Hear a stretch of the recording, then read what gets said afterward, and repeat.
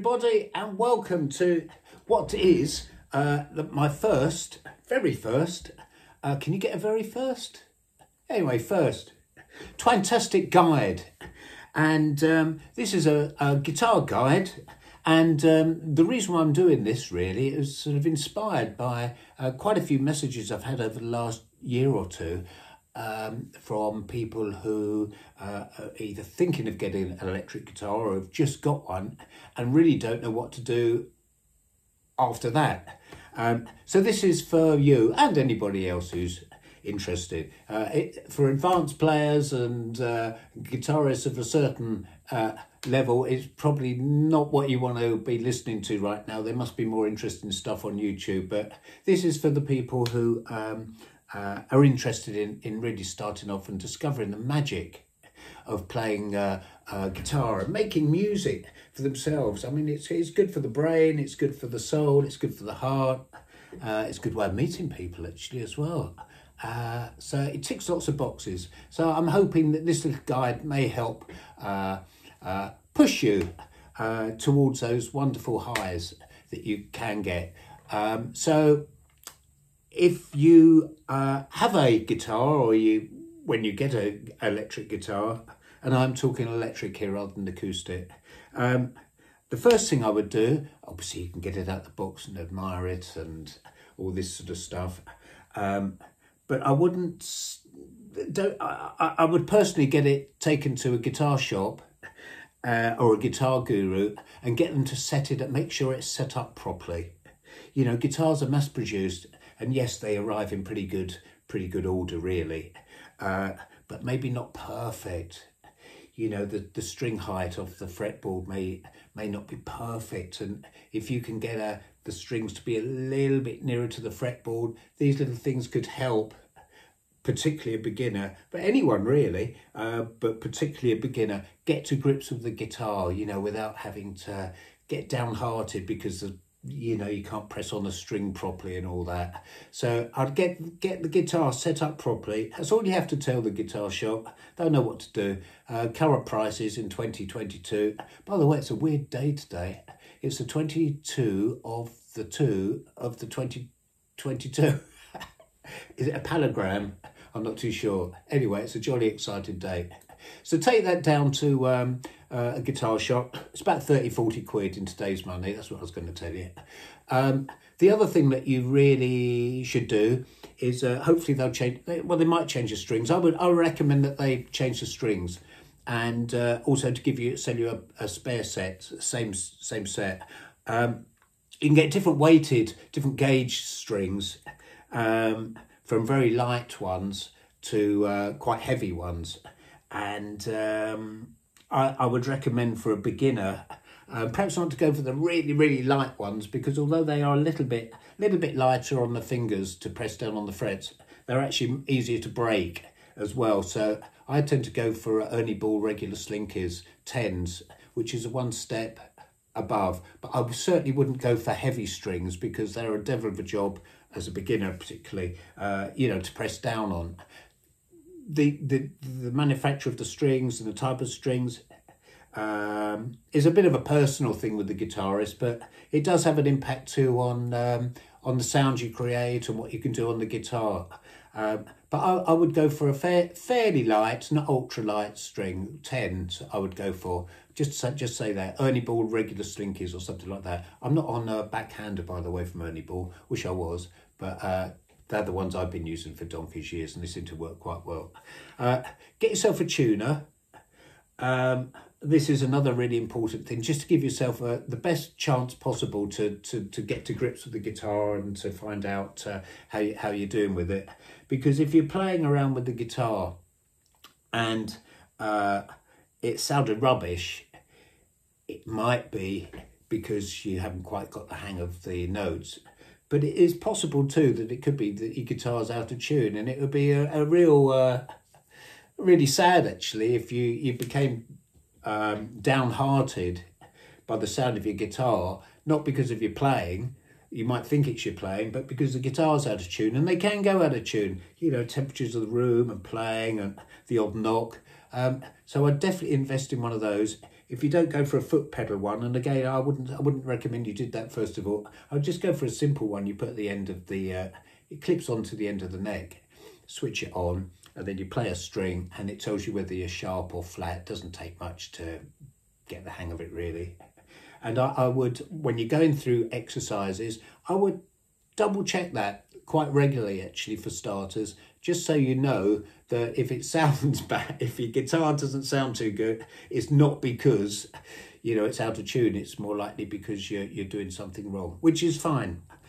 Um, electric guitar, you could have a little amp uh, or a speaker, a little practice amp. They're pretty cheap, and some of these, uh, um, or a lot of these these days, have built-in effects. But quite frankly, um, I wouldn't get too stressed about that either you know, the key thing is, and I'll run through this in a little bit more detail as I go on.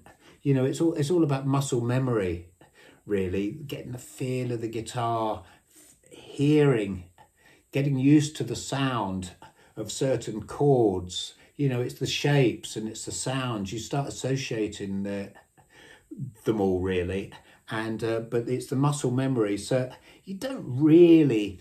Uh, need too many uh, accessories at the start. Plus, of course, if you if you do find that you, you're not particularly enjoying it, and you want to flog your guitar, then you've got a speaker and foot pedals to get rid of. So I would I wouldn't worry too much about that. Uh, electric guitars with that being plugged in, yeah, they're very quiet, uh, but that that may benefit the neighbours and the rest of your household. Let's face it. Um, and if you do make a mistake, not everybody knows. Um, but I mean, I don't if you can hear that on there, but I mean, you can certainly hear it, and you can tell whether you've hit clean notes and stuff like that. And that's something that I'll I'll run through in a minute. Um, so basically, you've had your car, guitar set up. You've got a nice little tuner there for about five pound, ten pound. I don't know what they cost these days. And you've got plectrums. Just choose.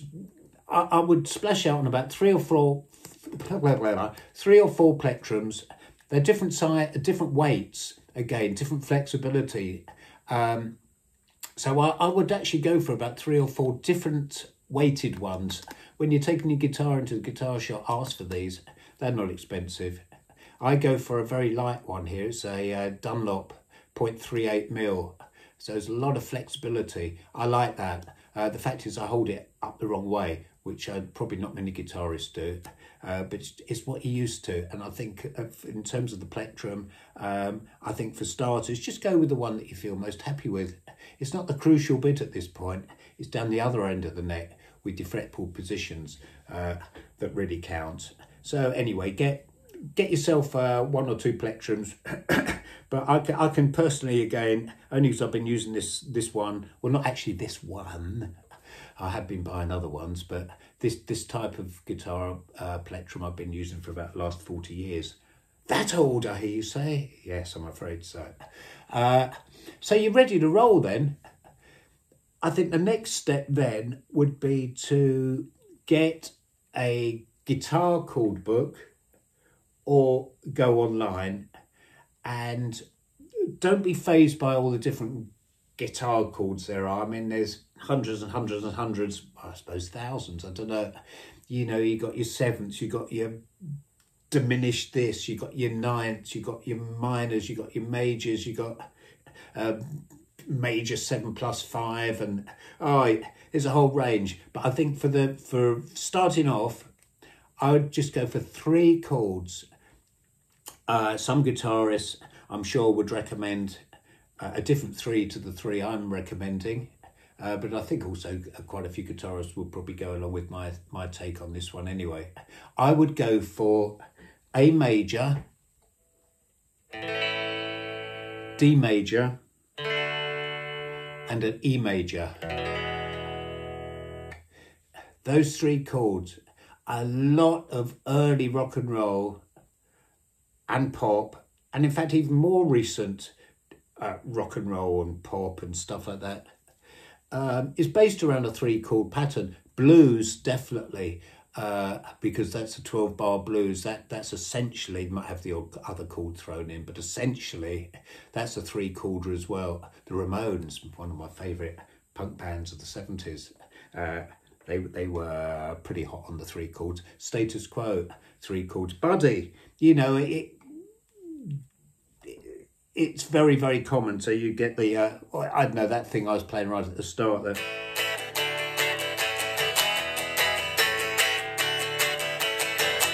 That's three chords, that's A, D and E.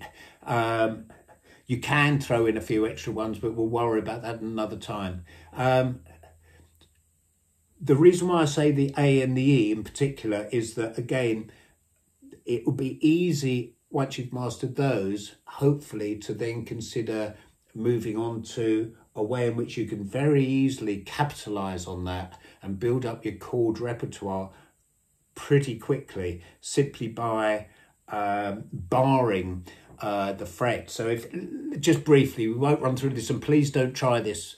Please don't try this one at home. Uh, certainly not yet, anyway. Uh, but basically, why I'm saying E, for example, you've got E here, and then I can make that into an F very easily by going then F sharp, G, G sharp, A. It's very easy. You wouldn't be able to do that so easily with other chords. So that's why I'm saying E and A should be two of the three chords that you're learning. So the the key thing here really is to make sure it's your guitar's in tune all the time and just keep running through these chords. Yes, it's going to be boring, but it shouldn't. In in some respects, it shouldn't be boring, because your end game is to get nice clean sounds. If you can get nice clean sounds, then you can move on to other chords. You may want to try some other chords, see if there's any easier ones, but there's no hiding really that at some stage in the not too distant future really if you want to progress you're going to have to master these these three chords so i, I would really stick with it if i were you um, you you could be playing some of the notes and it's going to sound like this that's very very common very very common for absolute beginners and actually non-beginners too um, and the reason why you may get duff sounds like that is either because you're being stupid like me, or it could be that you're not um, pressing down on the string uh, enough. So it's not actually making, the string's not making contact with the fret. So I'm, i I'm just resting my finger here on one of the strings. But if I press down, I'll slowly press down you get the note. So the key thing is the string needs to be down in the fret, not on not on the metal bit, but actually in the in the in the gaps there. And the if you get a duff sound, it's either because of that, or it's because um, you're, you're gathering your fingers pretty tightly together. It's possible that um, your finger, the correct fingers holding down the correct string but another finger is blocking the sound. So basically, you need to go through the chords, like this one for A, for example. You can strum it, but also go through each note.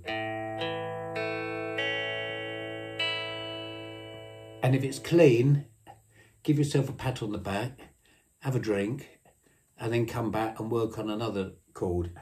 And then importantly, then come back to that chord again and see if you can still nail it. And it is, it is repetition, muscle memory. And uh, over time, you'll become fluid on that to the point where really I, I would recommend your, your goal should be able to, to, to finger these chords without even looking, looking down at your fretboard. Now the strumming, um, for starters, um, just to give yourself a bit of a um, a bit of a challenge, I suppose, really, and, and I suppose to see how it all fits in. Because uh, at the end of the day, if you're going to be playing tunes either uh, solo or with backing tracks or with a band, you're going to need some kind of rhythm going. So I would set a very slow. I would strum up. There's various ways to strum and again, that's probably another lesson, really. You know, you get strummers and you get rhythm players. Rhythm players are much more refined and much more versatile. A strummer, uh, no disrespect, but, but that's what we'll do now. So a strum is basically down, up, down, up. So.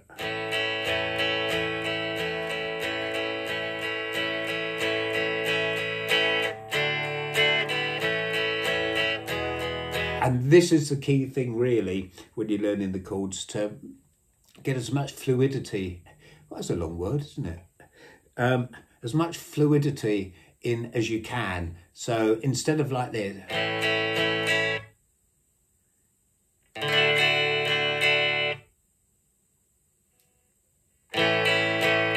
You really want it to be. So no pauses between the, the changes. That takes time. Don't please don't get impatient. Don't start blaming the neighbours, the cat, um, your fingers are too short, too stubby, too long, too short, whatever.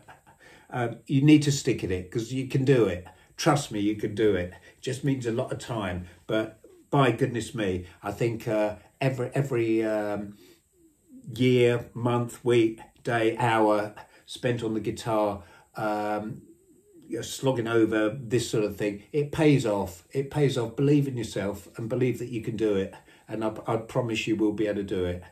So you can run, th- I would do the up, down, up, down thing. You can do various other rhythms and you can do arpeggios and all this or, or on the A.